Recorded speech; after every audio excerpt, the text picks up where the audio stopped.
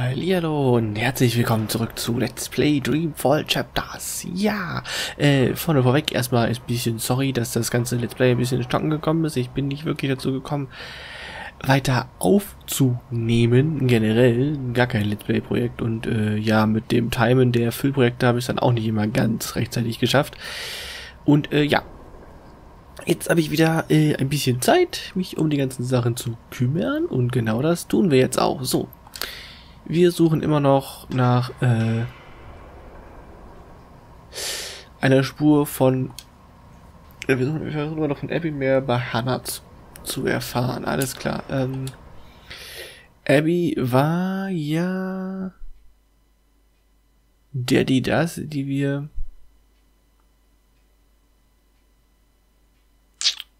die, war das die, die uns in dem, in dem der, da aus diesem einen Lüftungsschacht entgegenkam und dann in dem anderen verschwunden ist? Ich bin gerade ein bisschen überlegen. Es ist ein bisschen her. Ich nehme mir immer so ein paar Folgen am Stück auf und dann kann es mal sein, dass ich längere Zeit zwischendrin gar nicht dazu komme und dann auch nicht mehr so ganz auf dem Schirm habe, wo genau wir waren.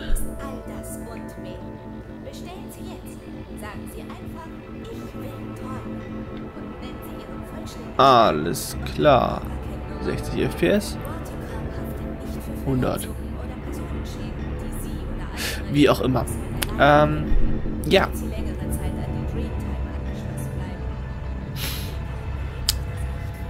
Was genau machen wir jetzt? Was haben wir denn überhaupt so für Zeug dabei? Kryptowährung. Nee, wir haben den blauen Schlüssel. Können wir den irgendwie auseinandernehmen? Mit dem Werkzeug kann man die Luken aufschließen und öffnen. Schlüsselgriff. Oh Gott. Kombinieren. Dem da. Und guck mal da, schon haben wir einen gelben Zugangsschlüssel. Ach, herrje. Da hätte ich ja mal früher drauf kommen können. Ja gut, gelb ist da vorne, wo die Tante verschwunden ist. Dann laufen wir doch da einfach mal hin. Der so einfach ganz sein. Weißt du, einfach mal ein bisschen Pause manchmal zwischendrin machen und schwuppdiwupp, schon kommt man noch bessere Ideen. Fragt mich nicht, warum ich manchmal so schwer vom Begriff bin. Zur Zeit gucke ich mir auch mit dem mit der Surot und mit dem Talon zusammen das Agony Let's Play von mir an und ich denke mir auch teilweise so, Alter, Vortex, lass es einfach. Hör auf, dich wie ein kompletter Vollidiot zu benehmen. Ja. Ja, ja. So, okay. Lüftungsluke. Äh, benutzen. Äh, ist wieder blau. Eben war es noch gelb.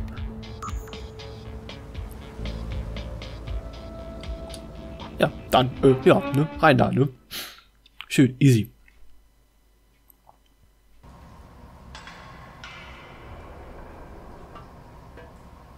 Oh, nein, sie ist auch so ein Traumjunkie. Na, herzlichen Glückwunsch. Das ist das Mädchen, das ich auf der Straße gesehen habe. Sie steckt kilometertief in der Dreamtime. Was willst du? Geh weg, lass mich träumen. Könntest du dich bitte von dem Ding abkoppeln und mit mir reden? Ich kenne dich nicht. Lass mich in Ruhe. Ich muss irgendwie zu ihr durchdringen. Es würde helfen, wenn ich etwas mehr über ihre Beziehung zu Hannah wüsste. Ah, ein ganz großes Kino. Naja, gut, jetzt wissen wir, wie wir die Schlüsselleger benutzen können. Wir haben ja noch ein paar gelbe theoretisch, die wir noch nicht. Ähm, ich sollte mir eingewöhnen, in Richtung des, des Mikrofons zu gucken, wenn ich euch anschauen möchte, in Anführungsstrichen. Weil normalerweise habe ich so die Angewohnheit, irgendwie nach rechts zu gucken auf den Monitor, wo auch das City läuft. Oder wo sonst immer der Teamspeak auf ist. Ähm, wir haben ja jetzt gelbe Schlüssel. Das heißt, wir könnten theoretisch noch Mauszeiger dahin. Zu dem da. Äh, da oben ist nichts. Das heißt, wenn wir dahin wollen, müssten wir theoretisch rechts und dann die Treppe hoch. Oder runter? Äh, ist immer noch zugange. Der ist wahrscheinlich so lange zugange, bis wir das ja rausgekriegt haben mit der Henna und dem ganzen Spaß, weil es ja kein optionales Ziel ist. Und das, wenn es ein optionales Ziel wäre, würde ich so oder so erstmal irgendwie erfüllt haben.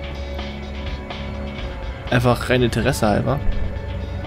Ja, sich selbst unter Machine aufzusetzen wahrscheinlich keine gute Idee, weil ich glaube nicht, dass wir darüber eine Verbindung schaffen herzustellen zu der Person.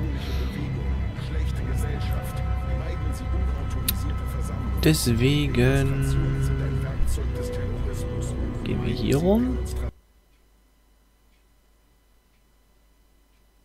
Nein, da kommen wir nicht dahin, wo wir hinwollen. Also einmal komplett außen rumlaufen. Also entweder bilde ich mir das ein oder die Performance von dem Spiel ist seit dem letzten Grafikkarten-Treiber-Update ein bisschen in den Keller gegangen. War mal besser. Oder ich habe irgendwas rumgefummelt zwischendrin mit den Einstellungen. Das kann natürlich auch sein. Merkwürdige Force Vulcan Startparameter für die Unity Engine findet und die natürlich erstmal überall ausprobiert.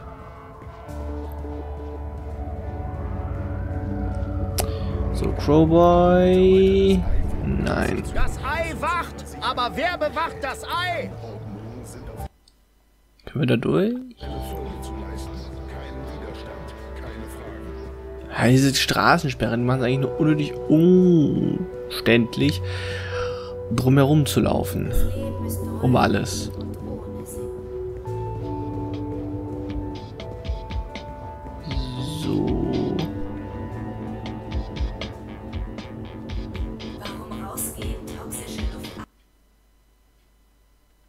Naja, herzlichen Glückwunsch. Ich bin einmal noch komplett unnutzlos im Kreis gelaufen. Hat einfach direkt hier durchzulaufen. Äh, sowas meine ich. Sowas meine ich. Einfach komplett zu doof für irgendwas. Manchmal regt mich das einfach richtig auf. Also wenn ich mir einfach so komplett Banane durch die Gegend renne. Egal, dann gehen wir halt jetzt hier hoch. Und schauen mal, was wir da finden.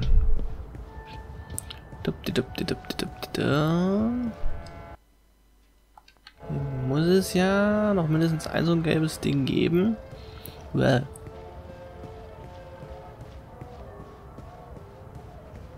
Hm, mich, interessiert, mich interessiert gerade mal was. Einen Moment. Oh ja, Tatsache, der funktioniert auch.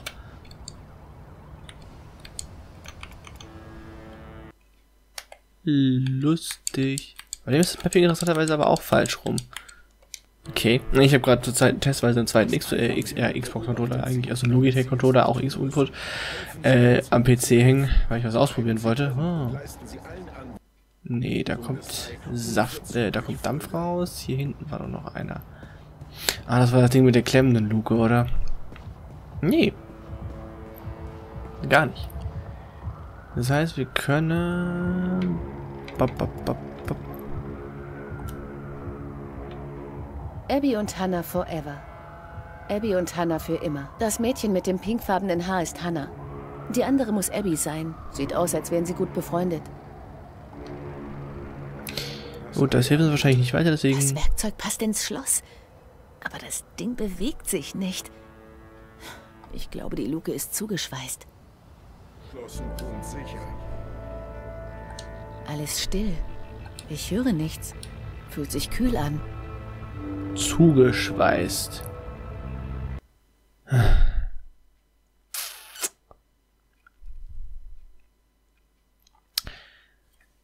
Ich glaube, das hier... Das habe ich natürlich im Controller intelligenterweise auf das Kabel von dem ausgelegt. So, das hier oben war ja die kaputte Luke, also die, die so ein bisschen offen, wo wir nicht reinkamen. Das war das, wo wir den, wo wir Fort Hanna gefunden haben. Da hockt die eine, das Ding geht nicht auf. Dafür brauchen wir einen anderen Schlüssel. Gehen wir nochmal ganz zurück. Sie halten den Verkehr auf. Gehen Sie weiter. Ich halte gar keinen Verkehr auf. Ich jogge an dir vorbei, du Trottel. Wieso bin ich so umständlich gelaufen? Kann mir das mal einer erklären?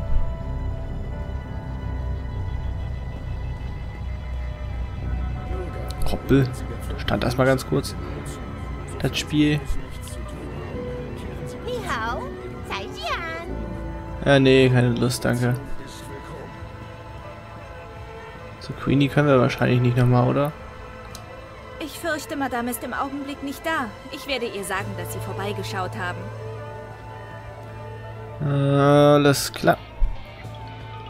Wir brauchen theoretisch, das ist das ist das Dreiecksding, nein, das ist das, wo sie hockt.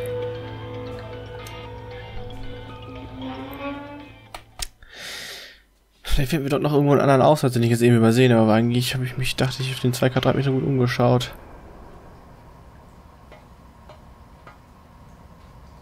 Vielleicht kann ich das hier ja benutzen. Ich früher drauf kommen können. Du bist eine Freundin von Hannah, stimmt's? Was? Auf dem Bild sieht es so aus, als wärt ihr gute Freundin. Ich weiß nicht, wovon du sprichst. Jetzt geh endlich. Hannah ist in Schwierigkeiten und du musst mir helfen, sie zu finden. Ich weiß nicht, wo sie ist. Wir sind nicht mehr befreundet. Was ist denn passiert? Sie wollte, dass ich aufhöre, die Dream Machine zu benutzen. Sagt, ich sei krank, ich sei süchtig. Sie war meine beste Freundin. Mehr als das. Aber jetzt... Ich habe sie ewig nicht gesehen. Als ich sie das letzte Mal gesprochen habe, war sie nervös und hatte Angst. Warum hatte sie Angst? Das wollte sie mir nicht sagen. Sie hat bloß... Sie hat gesagt, sie müsste eine Weile verschwinden.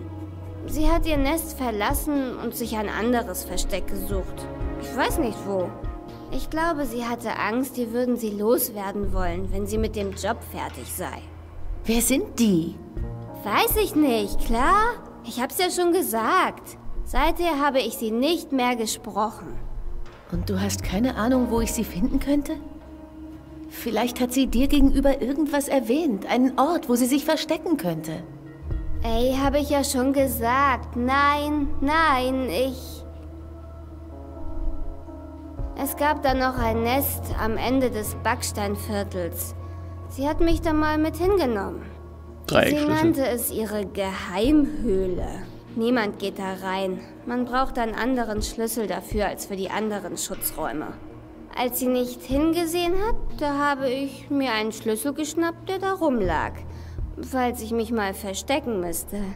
Vielleicht ist Hannah ja dort. Aber ich weiß es ehrlich nicht. Bitte lass mich jetzt allein. Wo ist der Schlüssel? Ich habe keine Ahnung, verflucht nochmal. Er liegt hier irgendwo, ich weiß es nicht. Kann ich jetzt zurück in meinen Traum? Die Dream Machines, die sind gefährlich. Ich halte sie für gefährlich. Du solltest sie nicht benutzen. Was soll ich denn sonst machen in diesem Rattenloch? Jura studieren?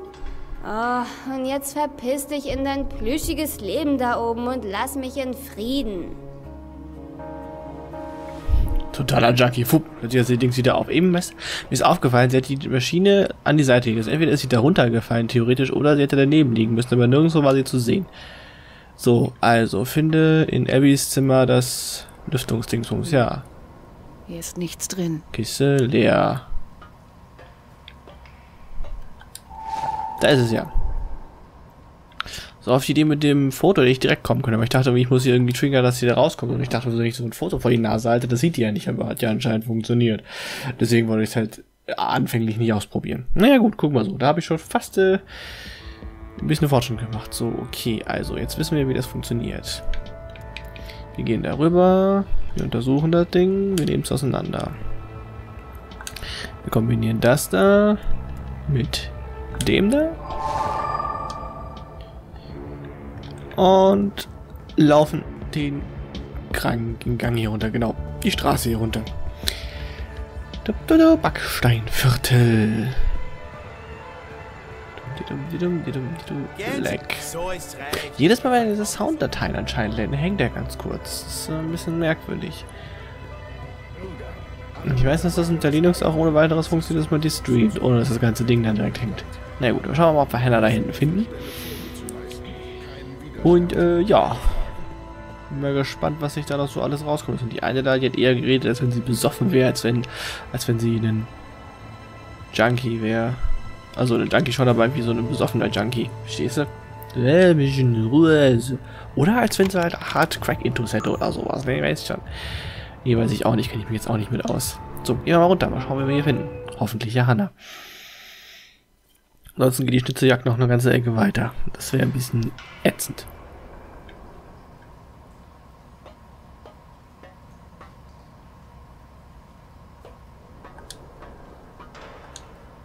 Hau ab, verflucht nochmal. Bist du... Ha oh, sachte, tu das Messer weg.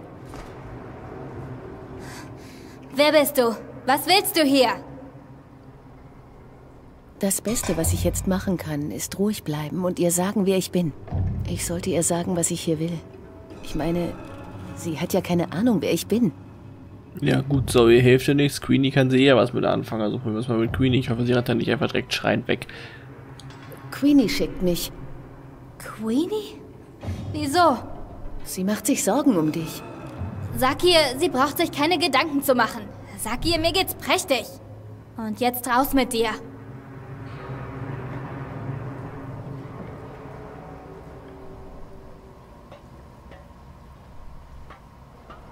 Ah, da.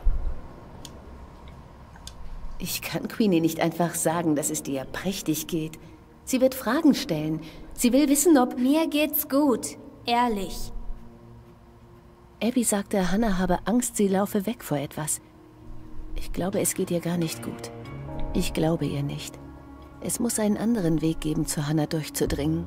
Probieren wir mal die Abby-Schiene. Wobei die beiden sich ja auch nicht sonderlich gut zu mögen scheinen, aber... Fragen Abby wir mal, was sagte, los Hannah ist. Wenn's dir gut geht, warum läufst du dann weg? Wer sagt, dass ich weglaufe? Abby, sie hat mir erzählt, Abby, so hast du mich also gefunden. Sie hat geplappert, diese, diese Dupa. Sie war schon immer schwach. ich habe ihr kaum eine Wahl gelassen. Ich musste dich finden. Sie wird es niemandem sagen. Sie macht dauernd Stress und sie ist süchtig nach der Dream Machine. Du fehlst ihr wirklich. Ich bin nicht für sie verantwortlich. Wir sind nicht. Ich bin nicht ihre Freundin, nicht. Ich bin nicht gut für sie. Bei mir ist sie nicht sicher. Man wird ihr wehtun. Wieso? Wer ist hinter dir her? All diese Fragen. Wer bist du gleich wieder? Zoe, Castillo. Und was geht dich das alles an, Zoe Castillo? Für wen arbeitest du? Für niemanden. Im Ernst, Schluss mit der Paranoia. Queenie wollte, dass ich dich suche. Sie macht sich Sorgen. Das ist der einzige Grund, warum ich hier bin. Du solltest das zu schätzen wissen, dass es in deinem Leben Leute gibt, denen du etwas bedeutest. Meiner Erfahrung nach wollen die meisten was dafür. Vielleicht wirst du überrascht. Unterschätze die Leute nicht. Überschätze die Leute nicht. Ah, Schau mal, ich habe da so Zeugs gemacht. Ein Job. Einen gefährlichen Job. Für ein paar sehr gefährliche Leute. Und jetzt muss ich aufpassen. Dann lass dir von uns helfen. Du kannst mir nicht helfen. Queenie kann mir nicht helfen. Keiner kann das. Wenn sie mich finden... Du hast echt keine Ahnung, mit wem du es zu tun hast, oder? Und die hält keiner auf, klar? Also lass mich jetzt in Ruhe. Ob sie vor Mr. London wegläuft? Er ist der Boss der kriminellen Unterwelt von Propast. Er könnte damit zu tun haben. Klingt logisch, aber es könnte auch das Ei Vielleicht sein. ist das Ei hinter ihr her. Die wissen bestimmt von Hannas Gang. Und die passt ihnen sicher nicht besonders. Ich vermute eher Mr. London, deswegen würde ich eher nach Mr. London fragen, anstatt nach das Ob Ei, sie nach dem. Ei. Ich bin Mr. London selbst schon begegnet. Ich weiß, der ist ziemlich gruselig. Mr. London? Nee, ist klar. Gruselig. Die Leute, vor denen ich mich verstecke, sind viel schlimmer als London. Genug geredet. Geh jetzt zu Queenie, sag ihr, sie soll sich keinen Kopf um mich machen. Ich glaube nicht, dass das reichen wird, um sie davon abzuhalten. Na schön. Sekunde. Gib ihr das. Sag ihr, ich habe ihre Nachricht bekommen. Du hast deinen Job erledigt und sag ihr, ich arbeite dran. Diese Bilder in deinem Raum, hast du die selbst ge... Du warst in meinem Nest? Ich war auf der Suche nach dir. Das gibt dir noch lange nicht das Recht, bei mir zu Hause einzubrechen. Suka. Die Zeichnungen sind von mir. Wieso? Ich kenne, was sie zeigen. Aus Träumen, Visionen. Schau mal, ich weiß, es klingt verrückt und ich kann es nicht erklären, aber Sie stammen aus Träumen. Aus meinen Träumen. Und nein, ich benutze keine Dream Machine. Ich habe bloß komische Träume. Warum haben wir die gleichen Träume? Woher weiß ich, dass du nicht lügst? Ich kenne dich nicht. Ich weiß nicht, wer du bist. Hau doch ab. Ich... Schon gut, okay. Ich bin ja hartnäckig, ne? Bitte geh, bevor dich jemand hier sieht. Hannah will, dass ich mich verziehe. Gut, dann gehen wir. Eine andere Möglichkeit haben wir ja anscheinend nicht. Warte. Warte. Okay, was gibt es, Hannah? Stimmt das? Mit deinen Träumen? Ich erinnere mich nur an einen Traum, aber es hat viele andere gegeben. Ich leide unter Amnesie, aber mein Gedächtnis kommt langsam zurück und deine Zeichnungen. Ich habe diese Bilder schon mal gesehen, mit eigenen Augen. Das kann kein Zufall sein. Ohne Zufall keine Geschichte. Zoe, richtig? Zoe Castillo. Ich denke drüber nach, was du gesagt hast, Zoe Castillo. Wenn ich glaube, dass es wahr ist, komme ich zu dir. Und jetzt musst du wirklich gehen. Ich habe zu tun und man sollte dich nicht hier unten bei mir sehen. Hier ist es nicht sicher für dich. Alles klar, wir gehen ja schon. Okay. Schade, ich hatte gehofft, dass jetzt noch irgendwas total Fancyes kommt. Aber gut, dann müssen wir wohl hoffentlich da oben nicht gleich äh, wegrennen und kriegen uns auf die Fresse. Das wäre ein bisschen unpraktisch.